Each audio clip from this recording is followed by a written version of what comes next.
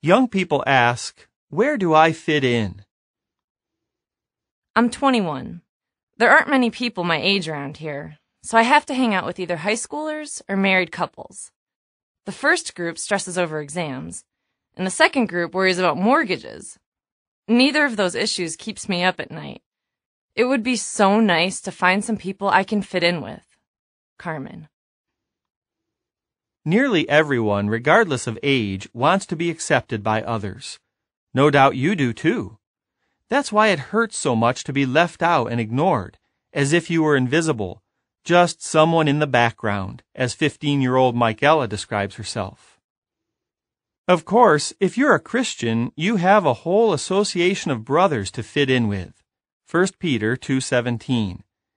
Even then, at times you may feel out of place.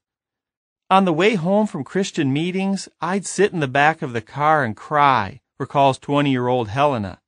The more I struggled to fit in, the more disappointed I felt. What can you do if you feel that you don't belong? To answer that question, first, let's identify 1. the type of people you find it most challenging to fit in with, and 2. how you typically react when you're in their company.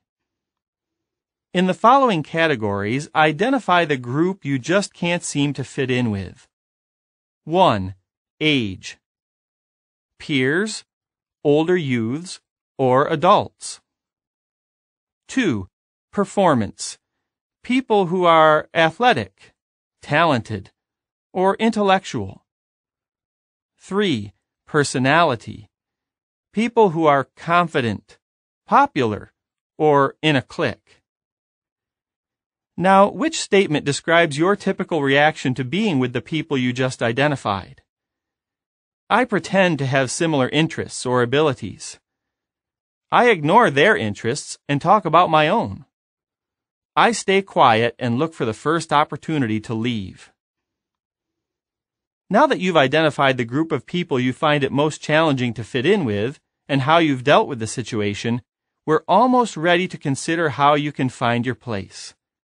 First, though, there are a few dead ends to social success that you need to be aware of and avoid.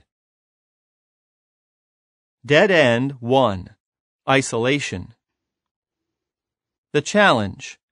When you're with people whose interests or talents differ from yours, it's easy to feel that you're the oddball, especially if you're shy. I hate trying to come up with conversation, says 18 year old Anita. I'm scared I'm going to say the wrong thing. What the Bible says.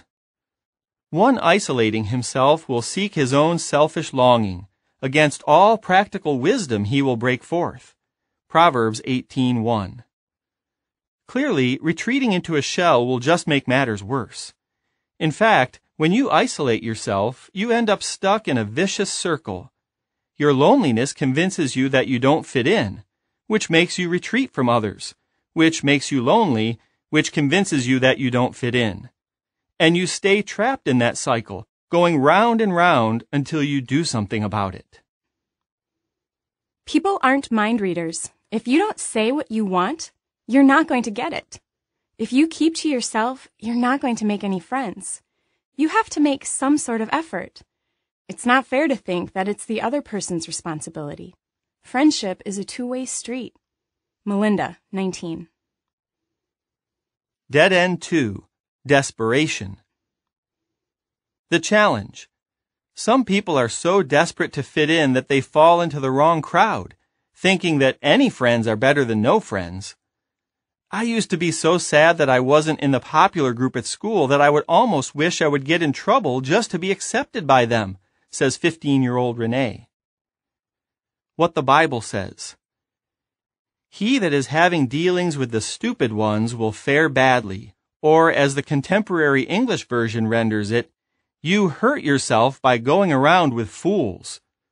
Proverbs 13:20.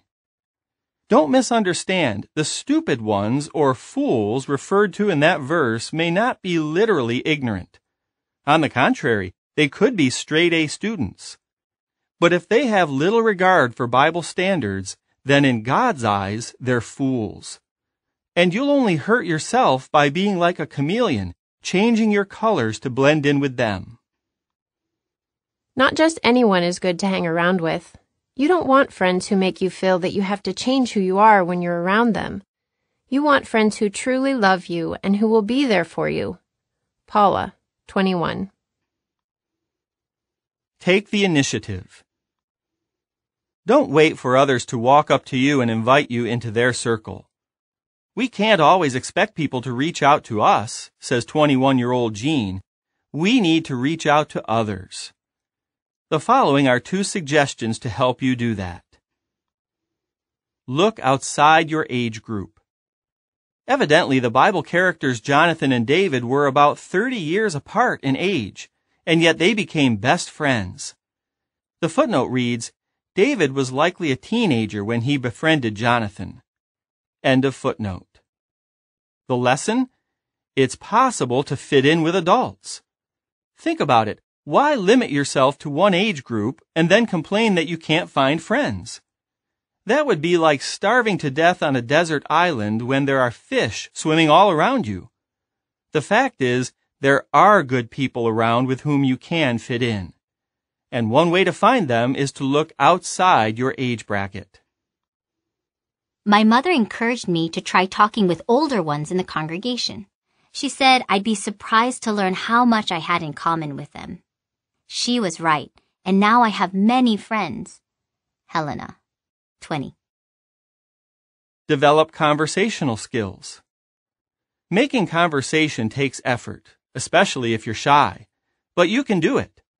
The key is to 1. Listen, 2. Ask questions, and 3. Show genuine concern. I try to be a listener rather than a talker. And when I talk, I try not to talk about myself or put others in a negative light. Serena, 18. If a person wants to talk about something that I'm not familiar with, I'll ask him to explain things, which will hopefully make him talk to me even more. Jared, 21.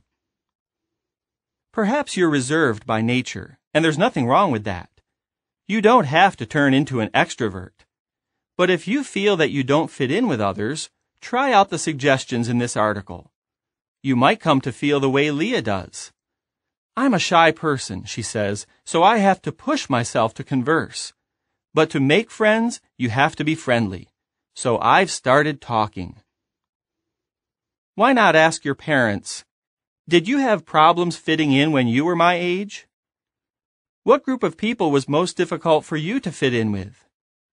How did you deal with the situation? The following is supplementary information. What your peers say. I try to talk to at least one person I have not thought to talk to at a Christian meeting. I have found that a friendship can be sparked from a simple greeting. Lauren. It was easy for me to sit back and say that other people didn't like me, and that I had no chance of fitting in with them. What took real effort was to do something about it.